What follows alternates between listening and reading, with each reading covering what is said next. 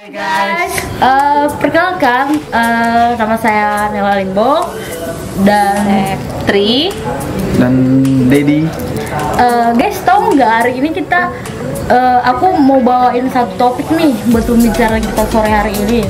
Eh, kalian pernah dengar nggak emergency response? Kalian tahu nggak apa itu pengertian emergency response? emergency responnya Apa ya?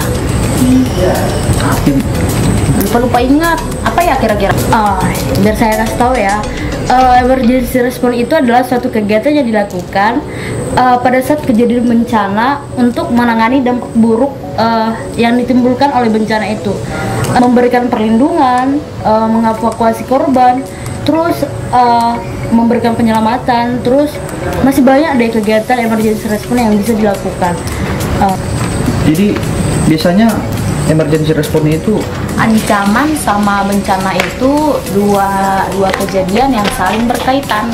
Kalau ancaman itu kejadian atau peristiwanya sedangkan bencana itu dampak yang dihasilkan dari kejadian atau peristiwa tadi makanya bencana tidak lepas dari adanya ancaman kayak gitu kalau bencana terjadi itu itu itu diakibatkan karena adanya ancaman ancaman yang ditimbulkan dari lingkungan sendiri eh, kalau putus cinta itu ancaman nggak? oh itu nggak ancaman Enggak.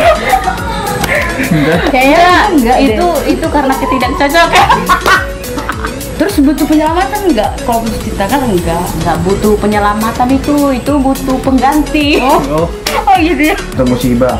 tindakan Ya. yang gimana sih yang bisa dikatakan sebagai tangkap darurat itu sendiri Contohnya itu kayak kayak di kampungku ya. Hmm. Kebetulan saya orang Sumatera Utara. sama dong Sama kalian dong. Oh ya. Ah, jual orang Sumatera. Kan Eh, teman-teman sekalian mau lihat eh, video video saya ten- eh kok kau aja Oh ya. kita oh kita itu. gitu sama Oh ya, kami kami melakukan emergency response. Eh, ayo kita lihat sama-sama. Check it out.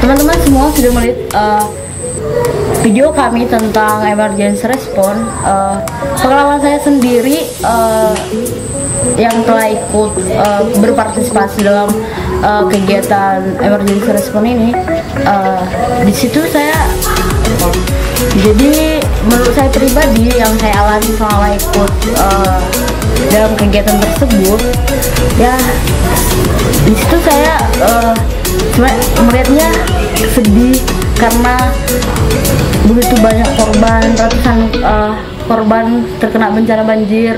Mereka tidak bisa eh, nggak bisa berladang soalnya ladang mereka udah kena banjir. Terus mereka harus tidur di tempat pengungsian.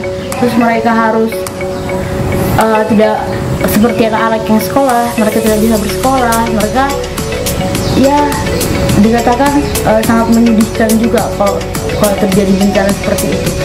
Kalau saya sih ya banyak banyak sih pengalamannya yang didapat selama kemarin yang kita kita ke Bartim itu menghasilkan itu. Tapi kita itu bisa lihat di situ pribadi saya saya bisa melihat bencana itu itu terjadi karena memang itu disebabkan eh, ulah-ulah individu yang ada di situ misalnya kayak perusahaan-perusahaan penambang-penambang itu. Banyak di situ banyak sekali. Nah, jadi kalau pengalaman saya itu cukup apa juga ya? Bisa membantu penduduk mengantarkan sembako buat mereka baru senang juga ya berbagi ya. kalau senang udah pasti senang. Senang juga ya bisa jalan-jalan ya kan? Nengok cewek-cewek cantik di kampung itu. Aduh hati-hati ya, kalau bisa tapi jangan sampai kejadian lagi. Ya, itu tadi dari cerita dan pengalaman kita yang udah banyak mengetahui tentang apa sih emergency re- response, apa sih bencana, apa sih itu ancaman itu. Jadi kita itu tahu bagaimana tindakannya lagi, tindakan yang kita lakukan itu ketika bencana itu terjadi itu kita tahu banyak gitu. Tapi berhubung karena kita kita kurang puas juga karena bicaranya melalui Video. video ini, ya baiknya kita ketemu secara langsung aja. Yuk kita hitung 1 sampai 3 kita akan muncul. Satu, dua, tiga.